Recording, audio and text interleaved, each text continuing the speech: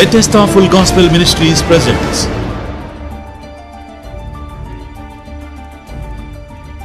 బెతెస్త సంపూర్ణ సువార్త సహవాసం నిర్వహించు మొదటి ఆరాధన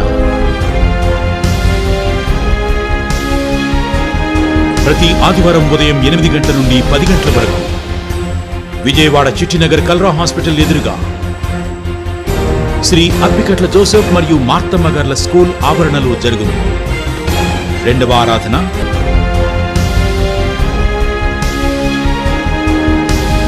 ప్రతి ఆదివారం ఉదయం పది గంటల నుండి మధ్యాహ్నం ఒంటి గంట వరకు. విజయవాడ కృష్ణలంక ఫైర్ స్టేషన్ ఎదురు డౌన్లో పెద్దివారి వీధి బెతెస్తా మందిరమందు జరుగును. మూడవ ఆరాధన.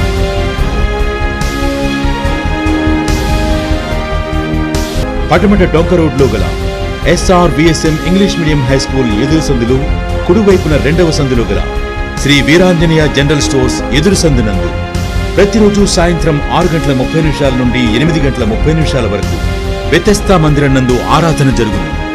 ప్రతి ఆదివారం ఉదయం అభిషేక స్వస్థత ప్రార్థన. ప్రతి శనివారం ఉదయం పది గంటల నుండి ఒంటి గంట వరకు కృష్ణలక్క ఫైర్ స్టేషన్ ఎదురు డౌన్లో పెద్దివారి వీధిలో గల వ్యతస్థా మందిరమందు రోగుల కొరకు యేసు రక్తముతో అభిషేకించి స్వస్థత ప్రార్థనలు చేయబడి శక్తివంతమైన స్థుతి ఆరాధన బలమైన వాక్య సందేశం స్వస్థతలు మరియు అద్భుతములు మీరే మందిరమునకు వెళ్ళని వారైతే రండి. ప్రభువుతో కలిసి ఆరాధిద్దాం. దైవికమైన ఆశీర్వాదాలు పొందుదాం. పరిశుద్ధ గ్రంథముల నుండి లుకా శుభవార్త పదిహేడవ అధ్యాయం. మనందరికీ సుపరిచితమైన లేఖనం లుకా శుభవార్త పదిహేడవ అధ్యాయము. లుకా శుభవార్త పదిహేడవ అధ్యాయము. ఇరవై ఆరో వచనాన్ని చదువుకుందాం. నావహు దినములలో జరిగినట్లు మనుష్య కుమారుని దినములలో జరుగును. నావహు వాడలోనికి వెళ్ళిన దినము వరకు జనులు తినుచు త్రాగుచు పిండ్లాడుచు పెండికియ్యబడుచు ఉండిది అంతలో జలప్రాయంలో వచ్చి వారందరినీ నశింపజేసెను. హలెలోయ వారందరినీ నాశనము చేశాను హలెలోయ చూడండి మనందరికీ తెలిసిన సబ్జెక్టే. మన పూర్వీకుడైన నావహు. నూట ఇరవై సంవత్సరాలు దేవుని సువార్త ప్రకటించాడండి. ఎన్ని సంవత్సరాలు? ఓ ప్రక్కన వాడకడుతూ ఉన్నాడు. నూట ఇరవై సంవత్సరాలు సువార్త ప్రకటిస్తూనే ఉన్నాడు. కానీ జనులు ఏం చేస్తున్నారో తెలుసా? తినటం త్రాగుచు పెండ్లికి ఇయ్యబడుతూ పెండ్లాడుచు. టైం వేస్ట్ చేస్తున్నారు. టైం వేస్ట్ చేస్తున్నారు. ప్రతిరోజు అంటే ఇవన్నీ చేయకూడదంటే చేయొచ్చు. కానీ దేవుని కంటే ఎక్కువ కాదు జనులు తినుచు త్రాగుచు. తినకపోతే తాగపోతే మనిషి బ్రతకగలడా? కానీ తిండే బ్రతుకు అవ్వకూడదు. దేవుని కన్నా ఎక్కువ కాదు. కానీ అక్కడ నావుహు దినములలో జరిగినట్లే ఇప్పుడు జరుగుతుంది. జనులు తాగటం తినటం పెళ్ళికి ఇవ్వబడటం పెండ్లాడటం అబ్బో బిజీ బిజీ బిజీ బిజీ అండి ప్రియమైన దేవుని బిడ్డలారా దేవుని కన్నా ఎక్కువ ఏది బిజీ అవ్వకూడదు మీకు. దేవుని కన్నా తిండి ఎక్కువ కాదు మనకి. దేవుని కన్నా నిద్ర ఎక్కువ కాదు మనకి. ఫస్ట్ ఇది గాడ్ ది ఆల్ మైటీ ఈ రోజు మనకి పరిస్థితిని ఇచ్చింది. ఈ రోజు ఈ మంచి జీవితాన్ని మనకి ఇచ్చింది ఆయనే కదా. దేవుని కన్నా ఎక్కువ ఏది కాదండి అన్నవారు చప్పట్లు కొడితే దేవుని కనపరచండి. హలే లోయ హలే లోయ అప్పుడు జరుగుతుంది ఇప్పుడు జరుగుతుంది. నావు దినములలో సువార్త ప్రకటిస్తూనే ఉన్నాడు. డోరు ప్రతి డోరు కొట్టారే బాబు సువార్త వినండిరా. జలప్రలయం వచ్చేస్తుందిరా. దేవుడు సువార్త ప్రకటించమన్నాడురా. మీ కుటుంబాలు మారనరా. దయచేసి ప్రభులోనికి రండి అని ప్రతి డోరు కొట్టి స్వార్థ ప్రకటిస్తుంటే అందరూ ఏమన్నా తెలుసా? పిచ్చోడ్రా వీడు. జలప్రలయం వస్తుందంట. మొత్తం సర్వనాశనం చేస్తుందంట. పిచ్చోడ్రా నాహుకు పిచ్చెక్కిందిరా. ఆస్తులన్నీ అమ్మేస్తున్నాడు. మరి తన ఆవిడ దగ్గర ఉన్న బంగారం అమ్మేస్తున్నాడు. తనకున్న ఆస్తులన్నీ అమ్మేసి వాడగడుతున్నాడండి. కడుతూనే ఉన్నాడు కడుతూనే ఉన్నాడు. ఓ ప్రక్కన వాడగడుతున్నాడు ఓ పక్కన దేవుని సువార్త ప్రకటిస్తున్నాడు. అలా నూట ఇరవై సంవత్సరాలు సువార్త ప్రకటిస్తూనే ఉన్నాడు కానీ ఒక్కడు కూడా మారు మనసు పొందలేదు. బాప్తీసం వేరు మారు మనసు వేరు. అర్థమవ్వాలనుకుంటున్నాను మీరు. బాప్తీసమే మారు మనసు కాదు. బాప్తీసం ప్రభువుని తన సొంత రక్షకు అంగీకరించావంటే నువ్వు ప్రభులోనికి వచ్చావు కానీ మనసు ఇంకా మారలా. పాత మనిషి ఇంకా నీలో ఉంది. కాబట్టి మారు మనసు అనేది మనలో రావాలి. అక్కడ జనులు తినటం త్రాగటం పెళ్ళాడటం బిజీ బిజీ అవుతుంది సడన్గా ప్రభు రాకడొచ్చింది మొత్తం అందరినీ సర్వనాశనం చేసుకుంది. కానీ నాహు మాత్రం ఒక తెలివైన పని చేశాడండి. ఏంటా తెలివైన పని తెలుసా? నాహు కొడుకులను కాపాడుకున్నాడు నాహు కోడలను కాపాడుకున్నాడు నాహు భార్యను కాపాడుకున్నాడు. తన ఫ్యామిలీని మాత్రం కాపాడుకున్నాడండి. ఈరోజు మీ ఫ్యామిలీని మీరు కాపాడుకునే ఆ స్థితి దేవుడు మీకు ఇచ్చాడు. మీ ఫ్యామిలీని ఎవరు కాపాడాలి? మేం కాదు మీరు కాపాడాలి. ఆ బాధ్యత దేవుడు మీకు ఇచ్చాడు. నవహు తన ఫ్యామిలీ ఎనిమిది మంది తన ఫ్యామిలీ నవహు ముగ్గురు కోడళ్ళు నవహు ముగ్గురు కూ- మరి కొడుకులు తన భార్య నవహు మొత్తం కలిగి ఎనిమిది. ఎనిమిది మందిని కాపాడుకున్నాడండి నవహు. ఈరోజు మీ ఫ్యామిలీ అందరూ ఇక్కడ ఎలా కుటుంబాలతో ఇక్కడ ఆనందిస్తున్నామో?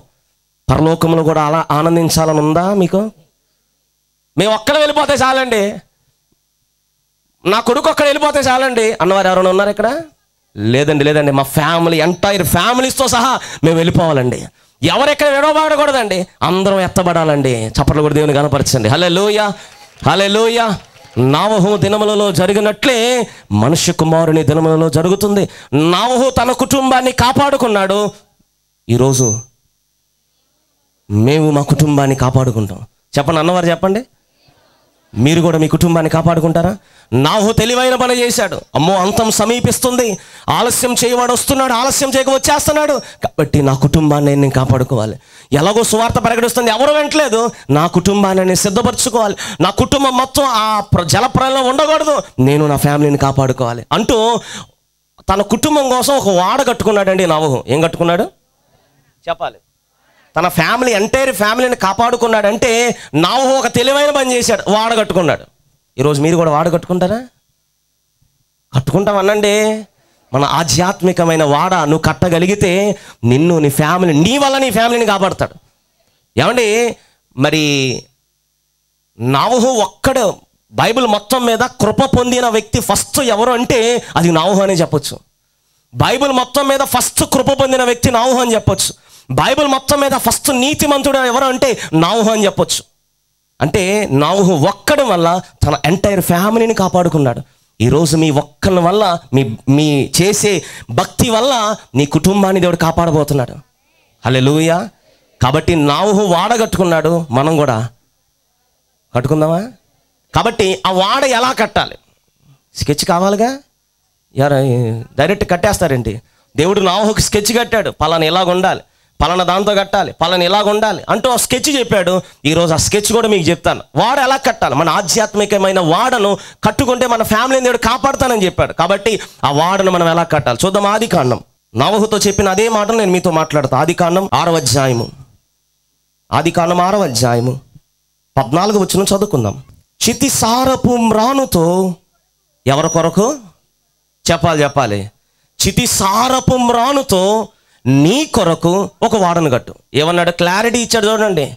ఏదో చెట్టుదో ఏదో ఒక నీకు దొరికింది ఏదో ఒకటి పెట్టి కట్టే. అన్నట్లు అక్కడ చెప్పలేదు కానీ బైబిల్లో చితి సారపు మ్రాణుతో నీ కోసం ఒక వాడ కట్టుకో. ఎవరి కోసం? మా కోసం అవసరంలా? మీ ఫ్యామిలీ కోసం కట్టుకోండి. ఎవరి కోసం? మీకోసం మీ పిల్లల కోసం. ప్రభు కూడా మరి ఆయన సిలువ వేయబడి ఆ గల్లుల మరి ఆ గొలుగుత ప్రాంతంలో మరి ఆయన సిలువ మోసుకుంటూ వెళ్తున్నప్పుడు అనేక మంది తల్లులు ఏడుస్తుంటే అమ్మా నా కోసం ఏడవద్దమ్మా. మీకోసం ఏడవండి. మీ పిల్లల కోసం ఏడవండి. నా కోసం వద్దు. అక్కడ నవహుతో అదే అంటున్నాడు. నవహు నీ కోసం ఒక వాడ కట్టుకో. నీ కుటుంబం కోసం ఒక వాడ కట్టుకో. ఎందుకంటే జల ప్రళయములో అందరూ నశించిపోయినా నేను నిన్ను కాపాడతా. అలే లోయ కాబట్టి చూడండి చితి సారపు మ్రానుతో నీకోసం ఒక వాడు కట్టుకో. చితి సారపు మ్రాను. ఇది కుళ్ళు పట్టని మరి చెక్క అంటండి దానికి కుళ్ళు పట్టడం అనేది ఉండదంట. దాన్ని ఇంగ్లీష్లో ఏమని పిలుస్తారంటే గోఫర్ ట్రీ అని పిలుస్తూ ఉంటారు. ఏమని చెప్తారు? గోఫర్ ట్రీ అని ఇంగ్లీష్లో మనకు పిలుస్తూ ఉంటారు. ఈ గోఫర్ ట్రీ మనకి మరి నాహు కట్టిన అదే చెట్టుని కేరళ రాష్ట్రంలో మరి ఇప్పటికీ కొంతమంది మరి టూరిస్ట్గా వెళ్తూ ఉంటారు. కేరళ కేరళ రాష్ట్రంలో రెండు చెట్లు మరి అక్కడ మనకు కనిపిస్తూ ఉంటాయి. ఆ ప్రదేశం ఏంటంటే మరి పిరియార్ టైగర్ రిజర్వ్ ఫారెస్ట్ అని ఒక ఫారెస్ట్ ఉందండి కేరళలో. ఆ పెరియార్ రిజర్వ్ మరి టైగర్ ఫారెస్ట్ ఆ ఫారెస్ట్లో రెండే రెండు ట్రీస్ ఉన్నాయంట. నావహు ఈ వాడని ఏ చెక్కతో అయితే కట్టాడో ఆ రెండు మరి ఆ ట్రీస్ కేరళ రాష్ట్రంలో ఆ ఆ దాని ఏమంటారు ఆ ఫారెస్ట్లో ఇప్పటికీ అక్కడ ఉన్నాయండి. ఇప్పటికీ అక్కడ ఉన్నాయి. అంటే ఒక మాట మీకు చెప్తున్నాను. చితి సారపు రాను అది దేనికి సాదృశ్యం అంటే ఒక స్థిరమైన భక్తికి సాదృశ్యం. ఒక స్టాండర్డ్నెస్కి సాదృశ్యం. ఏదో చెక్కతో కట్టే. ఈ చితి సారపు రానుకి కుళ్ళు పట్టడం ఉండదు చెద పట్టడం ఉండదు. అది ఎప్పుడుకే ఫ్రెష్గానే ఉంటుంది అంటే ఇంకో మాట చెప్పన? బలమైన చెక్క అంట చితి సారపు మ్రాను. ఈ గోఫర్ ట్రీ అనేది చాలా బలమైన చెట్టు. అంత బలమైన చెట్టు. దేవుడు చెప్పాడు ఏదో అన్ని చెట్లు అక్కడ ఉన్నాయి. ఏదో చెట్టుతో కట్టొద్దు. చితి సారపు మ్రానుతోనే నువ్వు వాడగట్టాలి. ఈరోజు ఫస్ట్ వన్ దేవుడు మనకి ఇచ్చిన స్కెచ్లో ఫస్ట్ వన్ చితి సారపు మునాను అంటే స్థిరమైన భక్తి మనం చేయాలి. మన ఆధ్యాత్మిక జీవితాన్ని గురించి మీతో చెప్తున్న ఆధ్యాత్మికమైన వాడ మనం కట్టాలి. ఎలా కట్టాలి? ఏదో కయ్యును హేబేలు చే మరి బలి అర్పించినప్పుడు మరి ఎవరు బలి దేవుడు యాక్సెప్ట్ చేశాడు? కయ్యును బలి మరి దేవునికి సమర్పించాడు. హేబేలు బలి దేవుడికి సమర్పించాడు. ఇద్దరు బలిలో ఒకరి బలే దేవుడు యాక్సెప్ట్ చేశాడు. ఎవరు బలి? హేబేలు బలి. ఎందుకంటే కయ్యును తన మనస్తత్వం ఏంటి తెలుసా? ఏదో చేద్దాం. ఏదో వెళ్దాం. ఏదో నామకార్థ క్రైస్తవులు కాదండి మనం. మనం ఏదో నామకార్థం ఏదో ఆదివారం వెళ్ళాలి ఏదో శుక్రవారం వెళ్ళాలి శనివారం వెళ్ళాలి పలానా నలభై రోజులు మరి మనం ఉపవాస దినములు పాటించాలి. ఏదో నామకార్థ క్రైస్తవులు కాదు మనం. నామకార్థ క్రైస్తవులు కాదు. ఏదో చేద్దాం ఏదో ఏదో చెక్కదో కట్టేద్దాం. కాదు కాదు స్థిరమైన భక్తి మనం చేయాలి. చప్పలు కొడితే దేవుని కనపరచండి. హలే లోయ హలే లోయ హలే లోయ ప్రియమైన దేవుని బిడ్డలారా దేవుడు అంటున్నాడు మీ భక్తిని కట్టుకునే మొదటి మెట్టు మీకు చెప్తున్నా చితి సారపు మ్రాను. చెప్పాలి ఏంటిది అది? దేనికి సాదృశ్యం ఇది? స్థిరమైన భక్తికి సాదృశ్యం. పౌలు భక్తుడు అంటాడు కరువైన వస్త్రహీనతైన ఉపద్రవమైన వ్యాధులైన అట్టిది మరి ఏదైనా క్రీస్తు ప్రేమ నుండి నన్ను ఏది ఎడబాపలేదు. అట్టి స్టాండర్డ్ భక్తి మనం చేయాలండి. ఏదో గాలి వచ్చి ఊగిపోయి ఏదో తుఫాన్ వచ్చి ఊగిపోయి ఏదో బైబిల్ గ్రంథంలో దేవుడు ఒక ఉదాహరణ చెప్పాడు. ఇద్దరు ఇల్లు కట్టారంట. ఇద్దరు ఒకే చోట కట్టారు. ఒకడేమో బండ మీద కట్టాడు. ఇంకోటి మెసుక మీద కట్టాడు. ఏదో కట్టేద్దామని కట్టేశాడు. వానలు వచ్చిన ఇంటి మీదకి వరదలు వచ్చినాయి ఇన్- ఇసుక మీద కట్టిన ఇల్లు కొట్టుకెళ్ళిపోయింది. బండ మీద కట్టిన ఇల్లు నిలబడి ఉంది. అది స్థిరమైన భక్తి అంటే.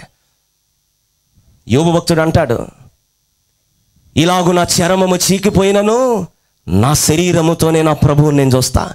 నేను చచ్చిపోయినా పర్వాలేదు కానీ దేవుణ్ణి మాత్రం నేను దూషించున్నా నేను ఆయన కోసమే కానీ పెడతా హలెలోయ మనం చేసే భక్తి ఎలా చేయాలి? స్టాండర్డ్నెస్. చెప్పాలి ఎలా చేయాలి? ఎలాంటి భక్తి మనం చేయాలి? అదే చితి సారపు మ్రాను. చెప్పాలి ఏంటిది అది? నావహూత దేవుడు చెప్పాడు ఏదో చెక్కదో కాదు ఏదో చెట్టులో ఉన్న ఆ చెట్టులో ఉన్న చెక్కతో కట్టద్దు. చితి సారపు మ్రానుతోనే నువ్వు కట్టాలన్నాడండి. ఎన్ని చెట్లు ఎతికాడో తెలియదు కానీ వెతికాడు వెతికాడు ఆ చితి సారపు మ్రాను. గోఫర్ ట్రీ అనే ఒక ట్రీని వెతికాడండి దానితోనే కట్టాడండి.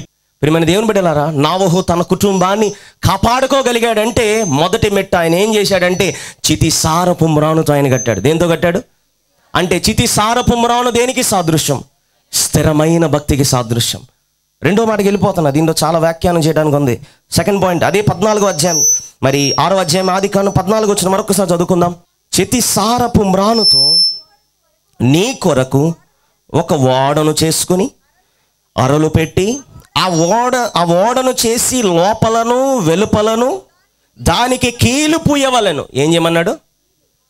ఇప్పుడు ఏమండి ఒక వాడ కట్టాలంటే ఆ చెక్క చెక్క అతుక్కోవాలి కదండి. ఆ చెక్క చెక్క అతుక్కోవాలంటే కీలు పూసేవాళ్ళు. ఆ కీలు మరి ఆ చెక్కని ఇంకా అది స్టాండర్డ్ అనమాట ఇది మీకు అర్థం అవ్వాలంటే మోసే టైంలో మోషేని కాపాడుకోవడానికి నిర్గమాకాండం రెండవ అధ్యాయంలో మనం చూస్తాం ఇది. ఒక చిన్న పెట్టి తయారు చేసింది తన తల్లి. పెట్టి తయారు చేసి జమ్ము పెట్టులో ఆ జమ్ముకు కీలు పూసి నైల్ నదిలో వదిలేసింది. అంటే వాటర్ అనేది లోపలికి వెళ్ళలేదు కీలు అనేది. అంత స్టాండర్డ్నెస్ అనమాట ఇప్పుడు ఏంటంటే ఈ కీలు దేనికి సాదృశ్యం అంటే ఒక చెక్కని ఇంకొక చెక్కను అతికించేది కీలు. ప్రియమైన దేవుని బిడ్డలారా దేవుని సంఘానికి వస్తున్న మనం అందరం ఆల్ ఆర్ వన్ ఉండండి దేవుని రక్తంలో కడగబడిన వారం. అందరం ఒకటే. అంటాను నేను మరి. మీరేమంటారు? కీలు అనేది దేనికి సాదృశ్యం అంటే ఐక్యతకు సాదృశ్యం. సహోదరులు ఐక్యత కలిగి నివసించుట ఎంత మేలు ఎంత మనోహరము ఆశీర్వాదమును శాశ్వత జీవమును అక్కడే ఉండాలని దేవుడు ఆజ్ఞాపించాడంతే. సంఘాలలో ఇప్పుడు ఐక్యత లేక చీలిపోతున్నాయండి. చాలా ప్రాంతాలకు మేము వెళ్తూ ఉంటాం. ఆ దైవజనుల పాపం అదే ప్రాంతం రెండు మందిరాలు ఉంటాయి. ఈ సందులో ఒక మందిరం ఉంటుంది ఆ సందులో ఒక మందిరం ఉంటుంది. మేము అడిగేస్తూ ఉంటాం అయ్యా పాస్టర్ గారండి రెండు పోనీ ఇక్కడ ఒక మందిరం ఇంకొక ఇంకొక ఊరిలో ఒక మందిరం ఉంటే అనుకోవచ్చు కానీ పక్క సందులోనే రెండు మందిరాలు కట్టారని పాస్టర్ గారు అంటే ఈ మందిరంలో అంట ఒక్క కులస్తులు ఉంటారంట. ఆ మందిరంలో అంట? ఈ కులస్తులు ఈ మందిరంలోకి రారంట ఈ కులస్తులు ఈ మందిరంలోకి రారంట. అయ్యే బాబోయ్. మీకు తటస్థించారు ఇలాంటి వాళ్ళు మాకు ఎంతో మంది పల్లెటూరులో ఉంటుంది. ఇదంతా సిటీలో లేరు కానీ పల్లెటూరులో ఉంటుంది. మేము దాదాపు చాలామంది పాస్టర్ గారులు బాధపడుతూ ఉంటారు. ఏమంటే వీళ్ళకి వాళ్ళకి పడదండి. అక్కడ వచ్చే వాళ్ళు అక్కడ వస్తారంట. అక్కడ వచ్చే కులస్తులు అక్కడికి వస్తారంట ఇక్కడ వచ్చే కులస్తులు ఎక్కడికి వస్తారంట? దేవుణ్ణి నమ్ముకున్న మనకి క్యాస్టీ ఫీలింగ్ ఉండొచ్చా? ఒక మాట అడుగుతున్నా మిమ్మల్ని. దేవుణ్ణి నమ్ముకున్న మనకి క్యాస్ట్ ఫీలింగ్ ఉండొచ్చా? ఒకవేళ క్యాస్ట్ ఫీలింగ్ అనేది ఉంటే పరలోకం వెళ్ళటం అసాధ్యం అంటాను నేను. బైబిల్లో ఒక వ్యక్తికి క్యాస్ట్ ఫీలింగ్ ఉందండి. అద్భుతాలు చేస్తున్నాడు కానీ క్యాస్ట్ ఫీలింగ్. అతని పేరేంటి తెలుసా? పరలోకపు తాళపు జైలు ఇచ్చాడు. పేతురు. భూలోకములను నువ్వు దేని మందిస్తే? భూలోకములను దేని వెప్పబడితే? అలాంటి గొప్ప దైవజనుడైన పేతురికి క్యాస్ట్ ఫీలింగ్ ఉందండి. ఒకసారి చూస్తారా మాట? అపోస్తుల కార్యం ఒకసారి చూద్దాం. అపోస్తుల కార్యం పదవ అధ్యాయము. అపోస్తుల కార్యం పదవ అధ్యాయము. ఏమన్నాడు చూడండి అద్భుతమైన మాట అది. పదవ అధ్యాయం ఇరవై ఎనిమిదో వచ్చిన.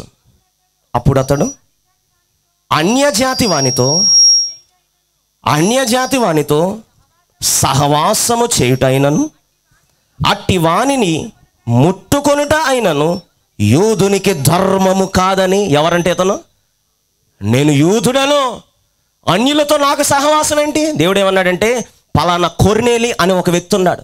నువ్వు అతనికి వెళ్ళి స్వార్థ ప్రకటించాలి నువ్వు అతను బాప్తీసం ఇవ్వాలంటే అయ్యా అన్యులతో నాకు సహవాసం ఏంటయ్యా? ఆమె యూదుడను. నా కులం ఏంటి? నా గోత్రం ఏంటి? నేను యూదుడను. నేను వెళ్ళనలాగా. అప్పుడు ఏం చేస్తానంటే దేవుడు ఏం చేశాడు తెలుసా?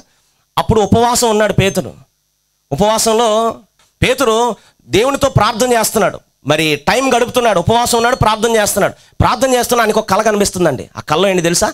ఆకాశంలో ఒక దుప్పటి దిగింది. దుప్పటి దిగ్గానే ఆ దుప్పట్లో ఏముందని చూడాలనుకుంటున్నాడు. నాలుగు చెంగులు పట్టుకుని ఉన్నారు. ఆ నాలుగు చెంగుల్లో ఆ దుప్పట్లో చతస్పాసు జంతువులు పాకు పురుగులు అనేకమైన పురుగులు మరి చూడటానికి గలీజుగా ఉంది. ఆ దుప్పట అలా దిగింది. ఆయన ప్రార్థన చేస్తా ఉన్నాడు ప్రార్థన చేస్తున్నాడు దర్శనం చూస్తున్నాడు పేతురు. దీ వీటిని చంపుకుని తిను అంటున్నాడు. ఎవరో ఒక స్వరం ఆయనకి వీటిని చంపుకుని తిను. అయ్యయ్యో ప్రభువా నేను యూదులను నేను అలా చేయకూడదయ్యా. అయ్యా ఈ ఈ పురుగులు తింటవేంటి అన్నాడు. మళ్ళీ అలాగే దుప్పటి వెళ్ళిపోయింది. మరలా అలా ప్రార్థనలో ఉన్నాడు. ఇంకొక మళ్ళా దర్శనం చూస్తున్నాడు. దుప్పటి దిగింది. మళ్ళా పురుగులు మళ్ళా సేమ్ అదే యాస్టీస్ చంపుకుని తిననే స్వర స్వరం వినిపిస్తుంది. అయ్యో ప్రభువా నాకు మంచి దర్శనాన్ని చూపించయ్యా. అయ్యా వీటిని చంపుకుని తింటవేంటి అబ్బో అబ్బో అంటున్నాడు. మరలా ప్రార్థన చేస్తున్నాడు. అయ్యా మంచి దర్శనాన్ని చూపించు. మూడోసారి కూడా అదే కలండి. అండి అయ్యా ఏంటి కళ చూపించావు ఉపవాసం ఉండి నేను ప్రార్థన చేస్తే నాకు మంచి దర్శనం చూపిస్తామని అనుకుంటే వీటిని చంపుకుని తినని చెప్తున్నావేంటి? అనగానే అక్కడ దేవుడు ఒక మాట మాట్లాడాడు. చూద్దాం ఆ మాట అపోస్తుల కార్యం పదవ అధ్యాయము. అపోస్తుల కార్యం పదవ అధ్యాయములో దేవుడు సాక్షాత్తు పలికాడండి. ముప్పై నాలుగో వచ్చిన చదువుదాం. దేవుడు పక్షపాతి కాడని నిజముగా గ్రహించి ఉన్నాను. ప్రతి జనములోనూ ఆయనకు భయపడి నీతిగా నడుచుకొని వారిని ఆయన అంగీకరించును. యేసు క్రీస్తు అందరికీ ప్రభువై ఉన్నాడు. చప్పలు కొడితే దేవుని కనపరచండి హలే లోయ హలే లోయ ఆయా జాతుల వారు ఏసయ్యలో అందరు ఆలర్ ఒకటే అంతే. ఏసయ్య రక్తంలో కలబడిన వారు మనం. ఎవరైనా అది ఏ కులస్తులైనా ఆల్ ఆర్ వన్ అంతే. హలే లోయ హలే లోయ కాబట్టి దేవుడు అంటున్నాడు ఆ వాడకి చితి సారపు మ్రానుతో వాడగట్టమన్నాడు. రెండవది దానికి కీలు పూయమన్నాడు. ఏం చేయమన్నాడు? దేవుడు కీలు పూయమన్నాడు. ఏదో గమ్ముతో అతికిచ్చే అనలేదు కానీ కీలు మాత్రమే దానికి పోయి. అంటే దానికి అర్థమేంటో తెలుసా? ప్రేమ దేవుని బిడ్డలారా మన సంఘముల ఐక్యత దేవుడు అనుగ్రహించునుగాక. మన సంఘాన్ని దేవుడు ఆశీర్వదించునుగాక. మన సంఘముల ఐక్యత దేవుడు అభివృద్ధి పరచునుగాక. రాకడ కొరకు దేవుడు సిద్ధపరచునుగాక. అలెలోయ నీ కోసం ఒక వాడ కట్టమంటున్నాడు దేవుడు. ఆధ్యాత్మికమైన వాడ కట్టమంటున్నాడు దేవుడు. ఆ వాడ దేంతో కట్టాలి మొదటగా? చితి సారపు మ్రాను దేనికి సాదృశ్యం అది? స్థిరమైన భక్తికి ఒక స్టాండర్డ్నెస్కి సాదృశ్యం. రెండవదిగా దానికి ఏం పోయాలి కీలు దేనికి సాదృశ్యం? ఐక్యతకి సాదృశ్యం. పరలోకి వెళ్ళాలంటే సుమా లేదండి బాబు యథా ప్రకారంగా ఉండాలంటే అది మీ ఇష్టం. మూడో పాయింట్కి వెళ్ళిపోతున్నాను. నా సమయం లేదు కాబట్టి మూడో పాయింట్కి. అది ఆది కాండం చూద్దాం ఆది కాండం. ఆరో అధ్యాయము. ఆది కాండం ఆరో అధ్యాయం పదహారో వచ్చును ఆ ఓడకి కిటికీ చేసి పైనుండి మూరెడు కిందకి దాన్ని ముగించవలెను. ఓడ తలుపు దాని ప్రక్కన ఉంచవలను. చూద్దాం ఇది నా సబ్జెక్ట్. క్రింద అంతస్తు రెండవ అంతస్తు మూడవ అంతస్తు గలదిగా దానిని చేయవలెను. వాడిని ఎలా చేయమన్నాడు? మూడు అంతస్తులు గలదిగా దాన్ని చేయాలి. ఎలా చేయాలి? ఆ వాడకి ఎన్ని అంతస్తులు ఉండాలన్నాడు? మన ఆధ్యాత్మిక జీవితానికి ఎదుగుదల ఎక్కడ ఉందిరా గొంగలంటే అక్కడే ఉండకూడదు. రోజు రోజుకి ఎదగాలి. యోహాను శుభార్తలు మొదటి మొదటి యోహాను శుభార్తలు అంటాడు. మొదటి మాట అన్నాడు పిల్లలారా అన్నాడు. రెండో మాట అంటున్నాడు యవనస్తులారా అన్నాడు. మూడో మాట అన్నాడు తండ్రులారా అన్నాడు. ఈ పిల్లలు ఎవరికి సాదృశ్యం అంటే ఎప్పుడైతే ప్రభువును మనం నమ్ముకొని సొంత రక్షగా అంగీకరించామో పిల్లలకి సాదృశ్యం. రెండవది యవనస్తులు దేనికి సాదృశ్యం అంటే పరిచర్య కొరకు దేవుని కొరకు సాధారణంగా వాడబడటానికి సాదృశ్యం. మూడవది తండ్రులు దేవునికి సాదృశ్యం అంటే అనేక మందిని రక్షణార్థమై ప్రభు సన్నిధికి తీసుకొచ్చి ఆ తండ్రులకు సాదృశ్యం. మనం ఎక్కడున్నాం? మూడు తరగతులు ఇక్కడ. మూడు అంతస్తులు మూడు తరగతులు. మొదటి యోహ మీకు చెప్ చెప్పలేదు అనుకుంటా యో మొదటి యోహాను శుభవార్తలో మరి రెండవ అధ్యాయంలో అక్కడ పద్నాలుగు వచ్చిన కానుండి మూడు తరగతుల గురించి అక్కడ చెప్పాడు. మొదటి తరగత చిన్న పిల్లలారా అన్నాడు. అక్కడ కిందకి చదువుకుంటూ వస్తే యవనస్తులారా అన్నాడు. కిందకి చదువుకుంటూ వస్తే తండ్రులారా అన్నాడు. ఈ మూడు తరగతులు వాడికి మూడు అంతస్తులు ఉండాలి. మన ఆధ్యాత్మికమైన జీవితానికి మూడు తరగతులు. అంటే రోజు రోజుకి మనలో ఎదుగుదల చూడాలి. ప్రియుడని ఆత్మ వర్ధిల్లుచున్న ప్రకారము నువ్వు అన్ని విషయములలో వర్ధిల్లుచు సౌఖ్యముగా ఉండవలనని ప్రార్థించుచున్నాను. కాబట్టి మొదటి తరగతి మూడు అంతస్తుల వాడకుండాలి. మొదటి తరగతి పిల్లలు అంటే దానికి పిల్లలు దేనికి సాదృశ్యం అంటే ప్రభువుని నమ్ముకున్న మొట్టమొదటి గడియ అది పిల్లలకి సాదృశ్యం. రెండవది యవనస్తులు దేనికి సాదృశ్యం అంటే పరిచర్య కొరకు దేవుని కొరకు సాధనముగా పరుగులు తీసే అది యవ్వనానికి సాదృశ్యం. తండ్రులు దేవునికి సాదృశ్యం అంటే అనేక మందిని సన్నిధికి తీసుకొచ్చి అట్టి ఎదుగుదల మనలో దేవుడు అనుగ్రహించునుగాక అమీన్ హలెలోయ ముగించేస్తా నీకు ఒక్క మాట ముగించేస్తా. ఆరో అధ్యాయం ఆది కాండం ఆది కాండం ఆరో అధ్యాయము ఆఖరి మాట చెప్పి నా సందేశాన్ని ముగించాలనుకుంటున్నాను ఇంకా చాలా మాటలు ఉన్నాయి కానీ మరి ఏది క్విట్ చేయాలి నాకు అర్థం కావట్లా? ఆరో అధ్యాయము పదహారో వచనం. ఆ వాడకి కిటికీ ఉండవలను. ఏముండాలి వాడకి ముగించేస్తున్నా. ఏముండాలి వాడకి ప్రియమైన దేవుని బిడ్డలారా నావహు తన కుటుంబం కోసం వాడ కట్టుకోమన్నాడు. వాడ కట్టాడు. తన కుటుంబాన్ని కాపాడుకోగలిగాడు. ఈరోజు మన కుటుంబాన్ని కూడా కాపాడుకోవటానికి ఆధ్యాత్మికమైన వాడ కట్టమని ఈరోజు ప్రభు మనతో మాట్లాడుతున్నారు. మొదటి మాట దేంతో కట్టమన్నాడు? చితి సారపుమరాను అంటే ఎలా పడితే అలాగా హేబేలు వలె. ఏదో చేసేద్దాం ఏదో చేద్దాం. కాదు కాదు. కయ్యుని వలె కయ్యను ఒక హేబేలు వలె స్థిరమైన భక్తి. చేస్తే సరిగ్గా చేద్దాం లేకపోతే మానేద్దాం. ఏదో నామకార్థ క్రైస్తవులు గలే మనం ఉండకూడదు. ఒక స్టాండర్డ్నెస్ స్థిరమైన భక్తి మనం చేయాలి. సి- చితి సారపు మ్రాను రెండవది దానికి ఏం పోయాలి? అంటే కీలు దేనికి సాదృశ్యం? ఐక్యతకి సాదృశ్యం. సంఘంలో ఏం కావాలి? ఐక్యత ఉండాలి. ఐక్యత లేకపోతే పరలోకం వెళ్ళం. కొల ఫీలింగ్ ఉంటే చెప్పాలండి. చెప్పాలండి. సంఘాల్లో కొల ఫీలింగ్ ఉండొచ్చా? ఉంటే ఏమైందండి అసలు పరలోకం వెళ్ళమండి బాబు. దానికి ఎన్న ఎంత ఎన్ని అంతస్తులు ఉండాలన్నాడు? మూడు అంతస్తులు దానికి ఉండాలి. మూడు అంతస్తులు దేనికి సాదృశ్యం? ఆధ్యాత్మికమైన ఎదుగుదలకి సాదృశ్యం. ఒక పిల్లోడిని చూసి ఒక ఎదుగుదల ఎలా మనం చూస్తామో ఆధ్యాత్మికమైన జీవితాన్ని మనం చూసి ప్రభు అలా సంతోషపడతాడు. కాబట్టి రోజు రోజుకి మనలో ఎదుగుదల. నేర్చుకుందాం. ఎదుగుదల మనం చూస్తున్నాడు దేవుడు. మూడవది నాలుగవదిగా? ఆ వాడకేముంది? కిటికీ దేనికి సాదృశ్యం అంటే నిరీక్షణకు సాదృశ్యం. దేనికి సాదృశ్యం? క్రైస్తవులారా మనకొక నిరీక్షణ మనకుంది. నిరీక్షణకు ఆధారం లేని సమయంలో అబ్రహాము నిరీక్షించాడు. అది అతనికి నీతిగా ఎంచబడింది. హలోయ నిరీక్షణకు ఆధారము లేని సమయంలో అబ్రహము టైంలో నిరీక్షణ అనేది లేదండి. నిరీక్షణకు ఆధారము లేని సమయంలో అబ్రహము నమ్మాడు. అది పొందాడు. కాబట్టి మనకేముండాలి? నిరీక్షణ అనే కిటికీ మనకు ఉండాలి మన ఆధ్యాత్మికమైన జీవితంలో నిరీక్షణతో మనం ముందుకు వెళుతూ ఉంటే దేవుడు మనం కాపాడుతూ ఉంటాడు. కాబట్టి ఈ వాడను మనం కట్టుకుందామా? ఇంకా ఎన్నో వాడ కట్టుకోవడానికి చాలా ఉన్నాయి కానీ కొన్నే మీకు చెప్పాను. మొదటిగా దానికి చితి సారపు మ్రాణుతో వాడ కట్టాలి. రెండవదిగా ఆ ఆ వాడ కట్టడానికి కీలు పోయాలి. మూడవదిగా దానికి మూడు అంతస్తులు ఉండాలి. నాలుగవదిగా దానికి ఒక కిటికీ ఉండాలి. ప్రార్థన చేసుకుందాం తల ఉంచండి స్పష్టంగా ప్రభు మనతో మాట్లాడారు. అయ్యా ఇట్టి భక్తి నేను కూడా నవహు నేను కూడా వాడ కట్టుటకు నేను కూడా నా కుటుంబాన్ని కాపాడుకొనుటకు నేను కూడా ఒక వాడను సిద్ధపరచుకుంటానయ్యా. నూట ఇరవై సంవత్సరాలు సువార్త ప్రకటించిన ఒక్కడు కూడా మారు మనసు పొందలేదు. కానీ నావహు కొరకు ఒక వాడను కట్టమన్నాడు ప్రభు. నావహు తన కుటుంబం ఎనిమిది మంది తన ఫ్యామిలీ కోసం ఒక వాడను కట్టుకొని తన కుటుంబాన్ని ఎంటైర్ ఫ్యామిలీని కాపాడుకున్నాడు నావహు ఈరోజు ప్రియమైన దేవుని బిడ్డలారా దేవుని అంతం సమీపిస్తుంది. ఆలస్యం చేయవాడు త్వరగా రాబోతున్నాడు ఆయన. అకస్మాత్తుగా ఆయన రాకడ జరగబోతుంది. నీ ఫ్యామిలీలో నువ్వు ఒక్కడు ఎత్తబడితే విడవబడిన వారు ఎక్కడికి వెళ్తారు? ఫ్యామిలీస్తో సహా నువ్వు పరలోకి వెళ్ళాలి. అది దేవుని ఇంటెన్షన్. అందరూ ఫ్యామిలీస్తో సహా ఇక్కడ ఎలా ఎంజాయ్ చేస్తున్నామో పరలోకంలో కూడా అలా ఎంజాయ్ చేయాలి. అది దేవుని ఇంటెన్షన్. కాబట్టి నావు తన కోసం వాడ కట్టుకున్నాడు. ఈరోజు మీ ఫ్యామిలీ కోసం ఒక వాడ కట్టుకోండి. అది ఆధ్యాత్మికమైన వాడ. ఎలాంటి వాడంటే చితి సారపు మ్రానుతో నీవు ఒక వాడ కట్టు. అంటే స్థిరమైన భక్తి మనం చేయాలి. ఏదో కాలక్షేప క్రైస్తవులం కాదు మనం. ఏదో నామకార్థ క్రైస్తవులం కాదు. చేసే భక్తి స్థిరమైన భక్తి చేద్దాం. రెండవదిగా ఆ వాడకి కీలు పూశాడు. అంటే క్రైస్తవ లోకములో కీలు దేనికి సాదృశ్యం అంటే క్రైస్తవుల ఐక్యతకి సాదృశ్యం. దేవుడు నమ్ముకున్న ఎవరికి క్యాస్ట్ ఫీలింగ్ కుల ఫీలింగ్ ఎవరికి ఉండకూడదు. అందరు ఆల్ ఆర్ వన్. ఐక్యతకు సాదృశ్యం. మూడవదిగా ఆ వాడకు మూడు అంతస్తులు ఉండాలి.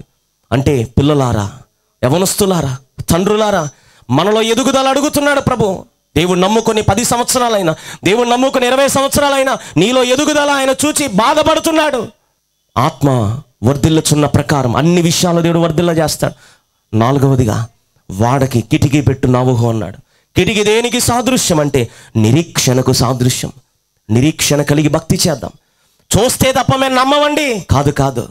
దేవుడు ఒక మాట నీకు ఇచ్చాడు అంటే మాట నెరవేర్చువాడు మాట ఇచ్చినవాడు మనుష్యుడు కాదు మాట ఇచ్చినవాడు గాడ్ ది ఆల్మైటీ. తప్పక మాట ఇచ్చిన దేవుడు మాట తప్పుడకు నరుడు కాడు. వాగ్దానం ఇచ్చినవాడు నీ పట్ల వాగ్దానం నెరవేరుస్తాడు.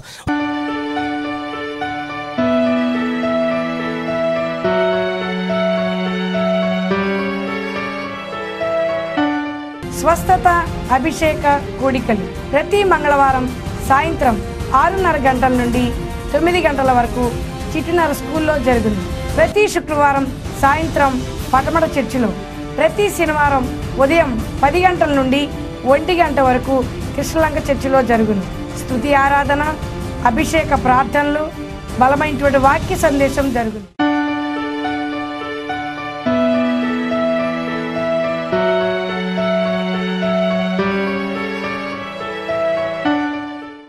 మొదటి ఆరాధన ప్రతి ఆదివారం ఉదయం ఎనిమిది గంటల నుండి పది గంటల వరకు చిట్టినగర్ కలరా హాస్పిటల్ ఎదురుగా గల అప్పిగట్ల జోసఫ్ గారు మార్తం గారు స్కూల్ ఆవరణలో జరుగును.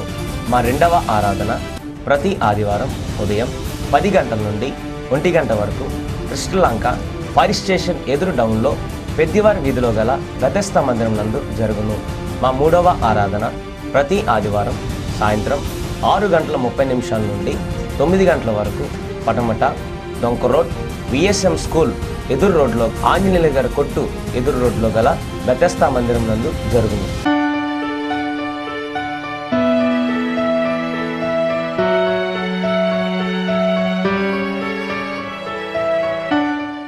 స్త్రీల కూడికలు. ప్రతి నెల రెండవ వారంలో సోమవారం కృష్ణలంక చర్చిలో బుధవారం పటమట్లో గురువారం చిట్టినార్ చర్చిలో ఆరున్నర గంటల నుండి తొమ్మిది గంటల వరకు జరుగును.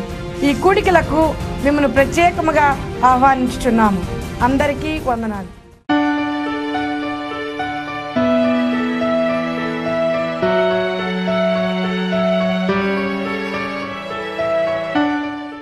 యూత్ మీటింగ్ ప్రతి నెల మొదటి వారంలో సోమవారం శ్రీలంకలో బుధవారం పడమట్లో గురువారం చిట్టినగర్లో సాయంత్రం ఆరు గంటల ముప్పై నిమిషాల నుండి తొమ్మిది గంటల వరకు మన సహోదరులకు సహోదరులకు ప్రత్యేకమైన స్కిట్స్ క్విజ్ మరికొన్ని ఆసక్తికరమైన కార్యక్రమాలు జరిగాయి ఈ ఆరాధనలకు యూత్ మీటింగ్లకు మిమ్మల్ని ప్రత్యేకముగా ఆహ్వానిస్తున్నాము.